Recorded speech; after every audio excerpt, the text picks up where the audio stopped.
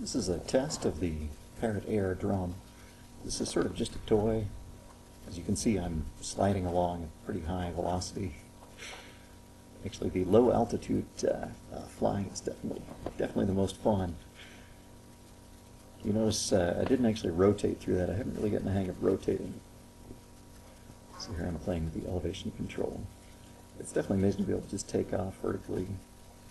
I'm way above the uh, all the cars and such.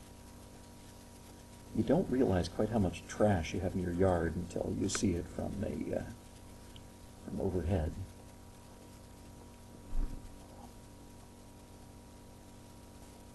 So I do notice that when you slew back and forth, so here I'm going sideways a while, uh, you notice that actually uh, the uh, the copter actually drops out of the air just a little bit when you when you end. I may just have the wrong vehicle dynamics selected.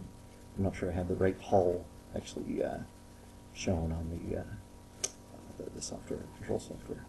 I'm piloting this thing from an Android, a little Android tablet, a Samsung Galaxy tablet.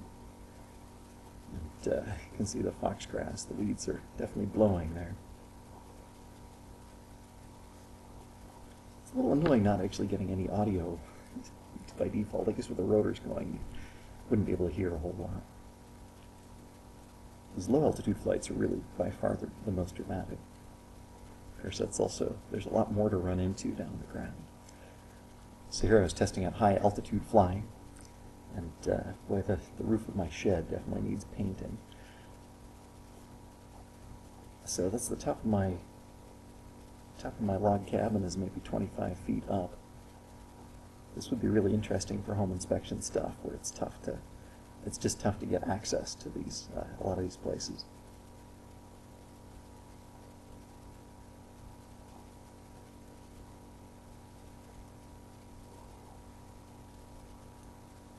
So here you're about to see the pilot, and uh, yeah, there, that's me.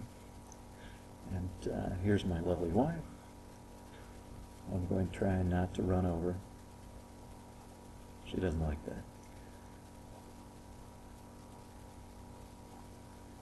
Checking out the welding shed.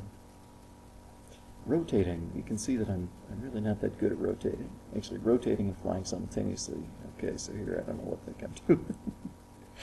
Terrible is once you turn the, the uh, helicopter's facing backwards, your tilting is going the wrong direction.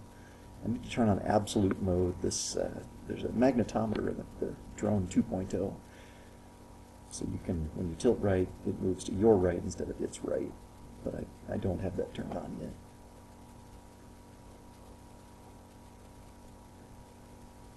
It's definitely a surprisingly fun thing to fly, just to, to zoom around. It's very easy to run into things. So here I'm uh, tied up and uh, about to land. Thanks for flying.